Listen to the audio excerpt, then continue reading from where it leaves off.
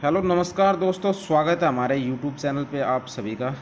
दोस्तों, बात करेंगे एसएससी फ़ेज़ 11 के अंदर जो आपकी वैकेंसी आई थी, जिसका रिज़ल्ट अभी हाल ही में जारी किया गया है। तो उसमें कुछ कैंडिडेट के डाउट है कि अब हमारा अब टायर टू होगा या फ़ेज़ टू होगा एग्ज़ाम का, या फिर हमारा जो फॉर्म था उसमें हमने एक्सपीरियंस सर्टिफिकेट अपना नहीं उसमें लगाया था, क्योंकि उसमें मैंडेटरी नहीं था। तो इस संबंध में बहुत से डाउट हैं लड़कों के और फ़ोन कर रहे हैं बार बार तो उस पर थोड़ा सा आज हम क्लियर कर देंगे कि क्या प्रोसेस रहने वाला है आगे। अपने डॉक्यूमेंट्स कहाँ पे भेजने हैं, क्यों भेजने हैं और एक्सपीरियंस सर्टिफिकेट नहीं लगाया तो क्या करें, उस पर थोड़ी सी हम चर्चा करेंगे। तो सबसे पहले ये आपको नोटिफिकेशन था। नोटिफिकेशन के अंदर आपकी कई सौ पोस्टें थी, यानी कि कई पोस्टें थी अलग अलग डिपार्टमेंट वेरियस डिपार्टमेंट में और अलग अलग योग्यता क्वालिफ़िकेशन के ऊपर। जैसे आप ये देख सकते हो कि ये एक वैकेंसी नोटिफिकेशन था, जिसके अंदर पोस्ट कैटेगरी ये वाज थी एमटीएस की वैकेंसी थी लेबोरेटरी बैरियर के अंदर। तो इंटीग्रेटेड हेडक्वार्टर एमओडी नेवी तो इसके अंदर आपकी मैट्रिक बेस पे थी, ये वैकेंसियाँ रहने वाली थी कैटेगरी वाइज तो इस इस वैकेंसी के अंदर कोई भी अब फेस टू एग्ज़ाम नहीं होगा और कोई ही इसके अंदर एक्सपीरियंस भी आपको नहीं भेजना था। हाँ अगर इन्होंने लेबोरेटरी या लेबोरेटरी बी का आपके पास कुछ भी अगर क्वालिफिकेशन मांगा था उस समय, ये फॉर्म भरते वक्त वहाँ पे आता था ऑप्शन कि आप लेबोरेटरी का आपका अपना एक्सपीरियंस या आपने जो डिप्लोमा किया है वो अपलोड करें।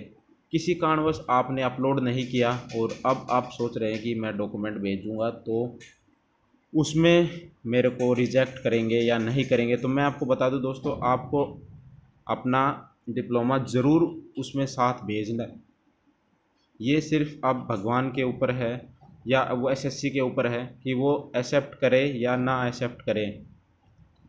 क्योंकि मैंडेटरी साइन भी नहीं था कॉलम में आपको वो वहाँ पे भेजना और भेजना भी ज़रूरी था। तो लेकिन अब इसका क्या ही रहने वाला है, वो सिर्फ़ एसएससी के हाथ में है।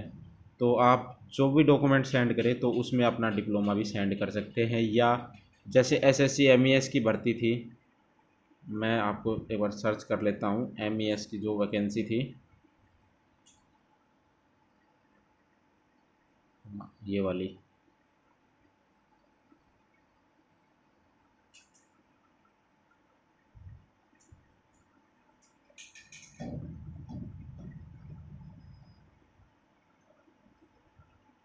सेकेंड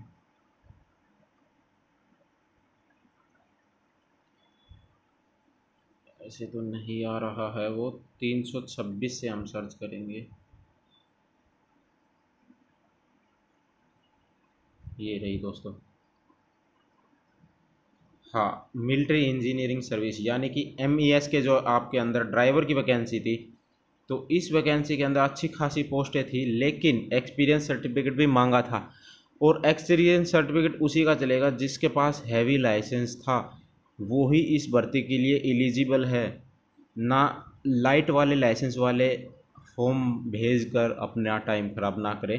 तो सिर्फ़ इसके अंदर आपका हैवी लाइसेंस जिसके पास था, उसी का ही एक्सेप्ट होगा फॉर्म और कुछ बच्चों ने एक्सपीरियंस सर्टिफिकेट नहीं लगाया, जिसके कारण अब वो परेशान है।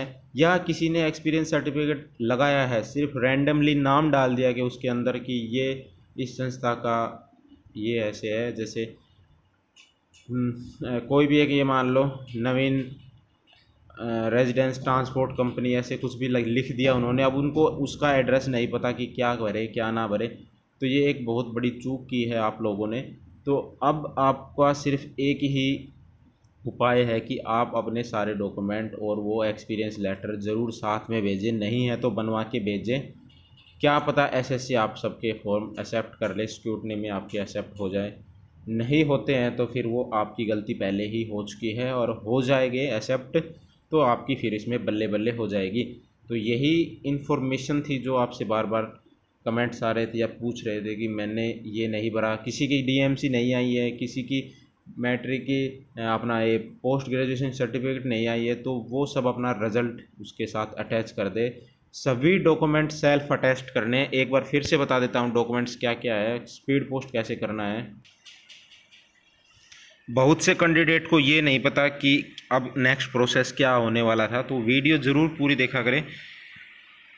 क्योंकि बहुत से कैंडिडेट ने सिर्फ़ रिज़ल्ट देख लिया और उसमें नाम देख के खुश हो रहे हैं कि हमारा तो हो गया, लेकिन उनको बता दूँ कि ये एनेक्सर एट है जो कॉलम सेक्शन उसमें लिखा गया है, आप शॉर्ट लिस्टेड हो नेक्स्ट स्टेज के लिए, आज आपका स्क्रूटनी होगा डॉक्यूमेंट्स का।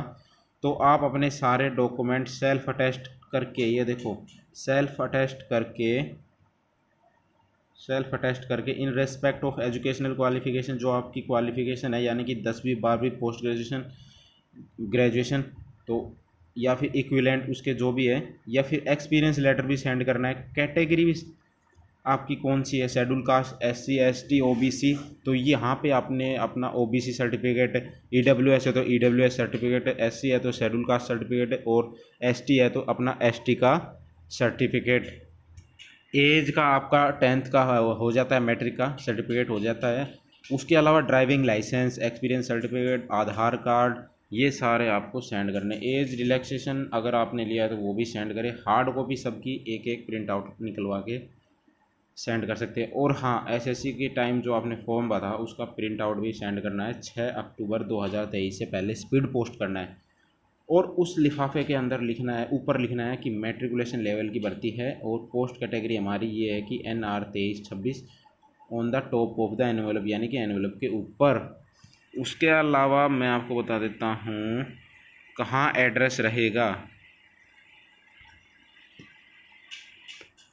सी आर रीजन यानी कि उत्तर प्रदेश से जो लगभग कैंडिडेट है, उनका सी आर रीजन पड़ता है। तो अपना रीजन चेक करके ही फॉर्म वहाँ पे भेजे।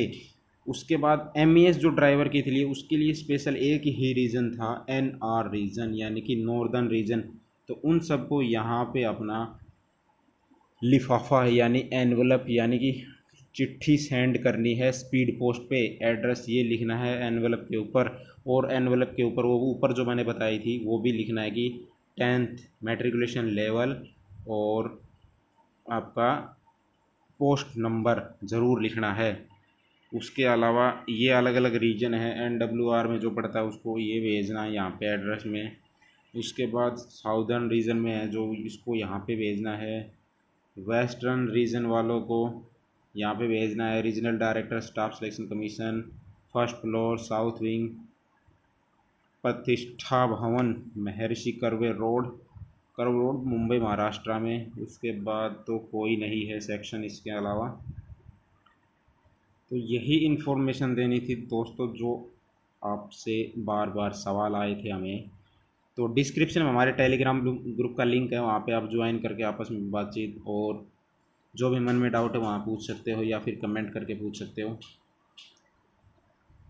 तो और एक बहुत से बंदों को डाउट थे एम की कट ऑफ़ के बारे में तो मैं उसकी एक बार कट ऑफ़ दिखा देता हूँ आपको। तीन सौ छब्बीस पोस्ट कोड है उसका। ये लीजिए एम की कट ऑफ़ ये है एम की कट ऑफ़ आपकी। एससी कैटेगरी की एक हज़ार इक्यावन कैंडिडेट्स अवेलेबल हुए हैं। चालीस के ऊपर, यानी कि बीस क्वेश्चन के ऊपर आपकी कट ऑफ़ लग गई है। उसके बाद एसटी की आपकी सात सौ तेरह कैंडिडेट पाए गए हैं, जिसमें चालीस पर ही है। उसके अलावा ओबीसी की one six two eight candidate पाए गए हैं, जिसके पच्चीस क्वेश्चन सही है, उनको पास किया गया। ई डब्ल्यू एस सबसे ज़्यादा मज़ा ई डब्ल्यू एस में है, क्योंकि पोस्टें ज़्यादा और बच्चे सिर्फ़ एक ही गुना के आसपास हैं, इसकी भी कट ऑफ़ पचास के ऊपर है।